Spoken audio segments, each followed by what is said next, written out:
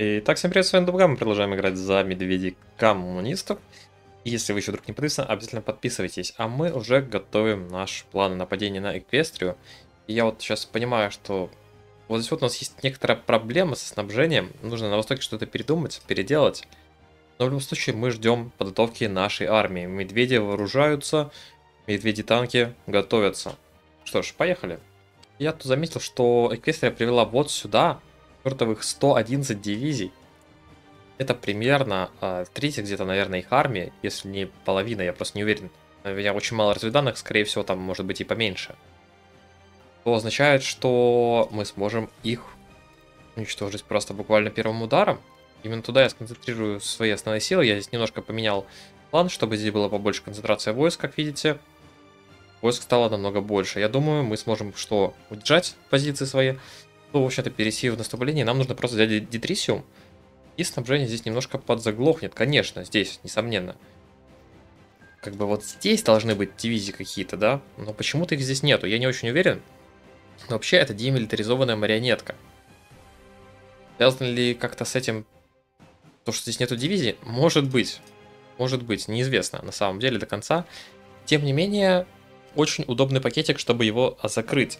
Плюс я сюда подлодочки отправил, они будут здесь рейдить, а, пингвин, адмирал а, Сальпар из клана Анкер будет тут заниматься рейдом на конвое, возможно я еще чуть-чуть регионов побольше добавлю в это, просто я пока не уверен, как туда будут морские пути идти, у меня с разведанных маловато пока что.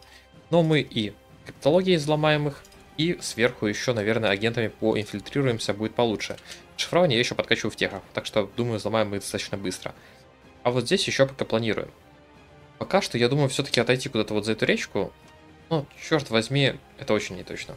Кстати говоря, председатель Сноубер, мы можем поставить генерал, я диванный генерал, а, но это ложь, очевидно.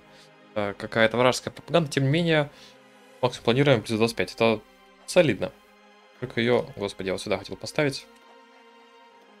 Вот так а, будет а, неплохо. И сюда нам нужен новый генерал, нам нужно еще одного полевого командира повысить. И как обычно у них, да, статы, господи, супер. Итак, первый винтик. Партийная дисциплина. Тут боролись, пытались развалить свои цепи, которые мне были скованы. Ага.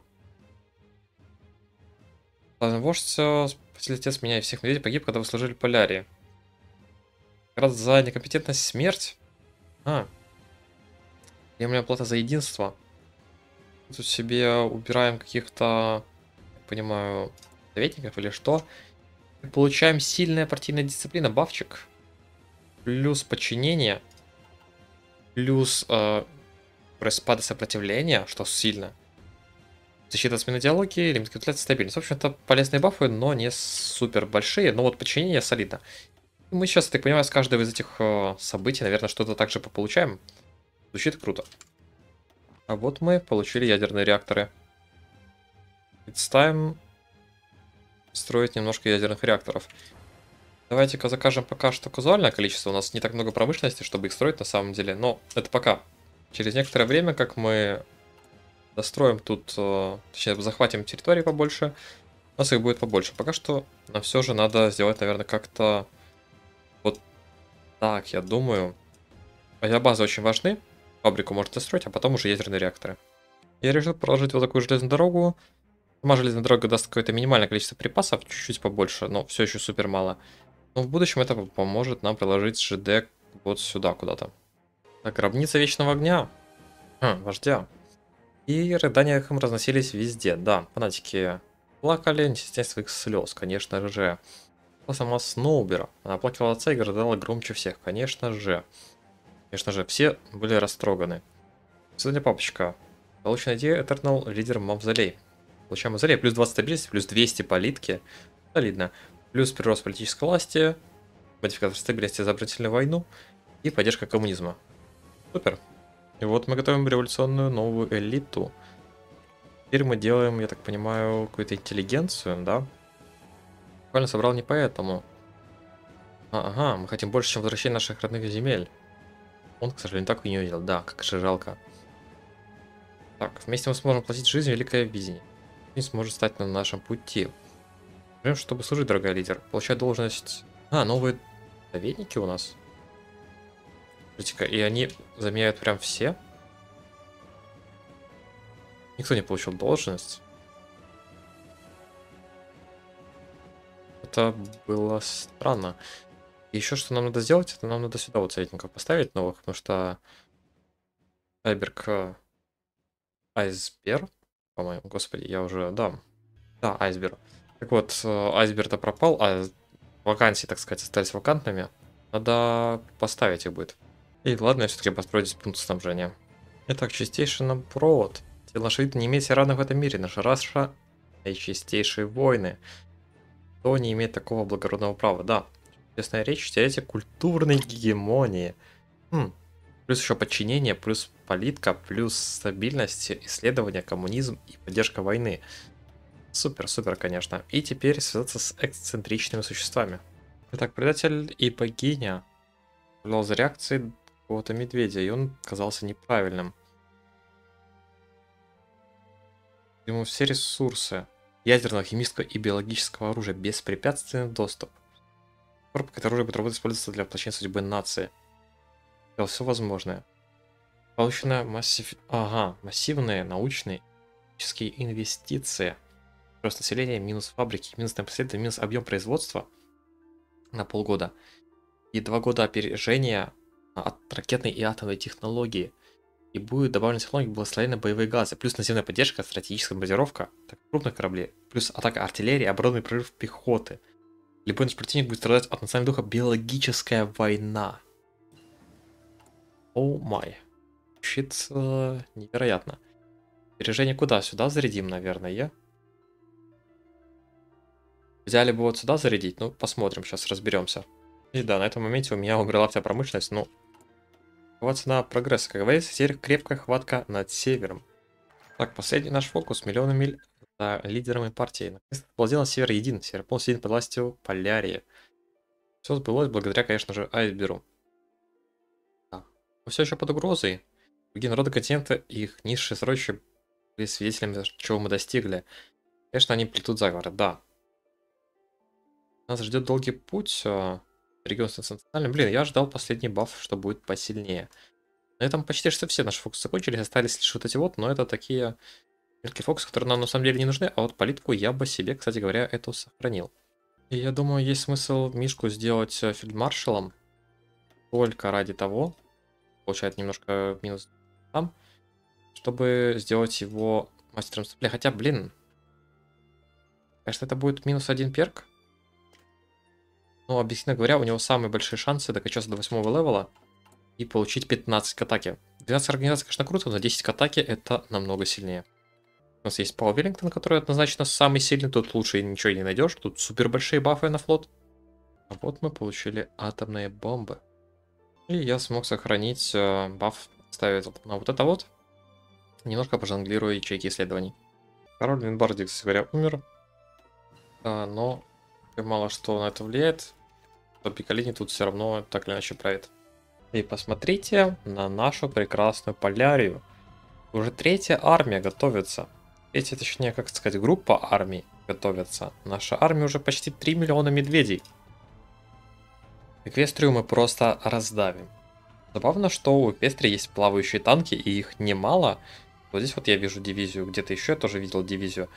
И самое главное, вот здесь я тоже видел плавающие танки. Вот они. Как будто они реально их используют.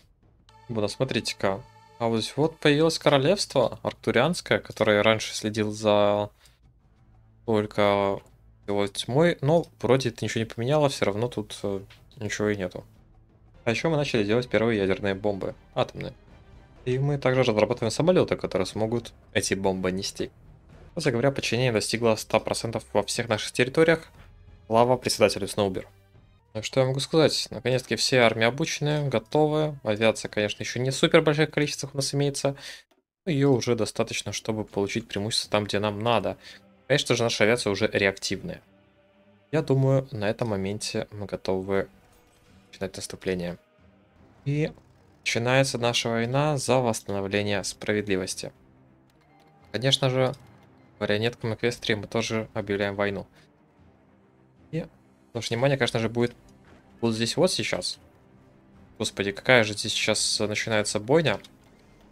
Ну, как будто, как будто наши войска в ней должны победить. Мы, по крайней мере, именно на это надеяться. Подлодки здесь сейчас будут работать по вражеским конвоям. Надеюсь, успешно. И да, мы пробиваемся, смотрите-ка. Они, конечно, нас тут попробовали поддушить, но не удалось, не удалось. Они просто не успевают зареинфорсить битвы против э, наших э, панцер-медведей. Ну, в принципе, достаточно ожидаемо. Тоже на других фронтах. Здесь мы перешли в наступление. Здесь мы просто полностью смогли разгромить вот эту армию. Если у нас какая-то армия... Да, вот эту давайте-ка перебросим армию вот сюда. А вот эту армию... В которых все-таки есть генерал, хотя кажется, как будто нету. Мы переназначим вот сюда. Там форт защиту нажимали, я видел, Эквестрия. Или кто-то еще под ее командованием, но сильно это им помогает. И нужно душить вот здесь вот. Если мы сможем их здесь э, как-то обрезать, от основных сил будет очень сильно. И пора призывать республику Оленю к войне и начинать наступление еще и оттуда. Да, конвой мы здесь ловим отлично. А еще я решаю, что наш флот стоит перенести как раз таки вот туда, потому что здесь как будто нам особо и нечего делать флоту. Да, можно просто прикрывать э, наш, наши войска от вражеского флота, но это же то, что нам хотелось бы. Нам нужно наш флот использовать в бою.